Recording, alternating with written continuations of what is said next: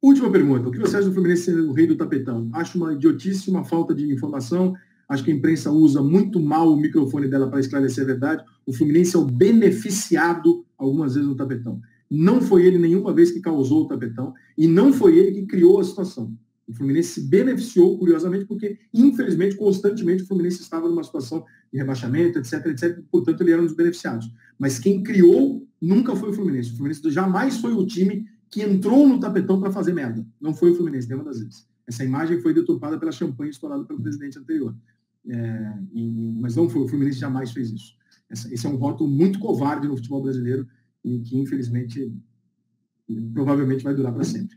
Gente, obrigado, beijo para vocês. Estou indo lá para o Instagram, aquele likezinho, se inscreve, corre lá para o meu Instagram se quiser, que eu vou fazer uma live agora com o pessoal de Porto Alegre para falar de Grêmio Inter. Valeu? Abraço para vocês, valeu.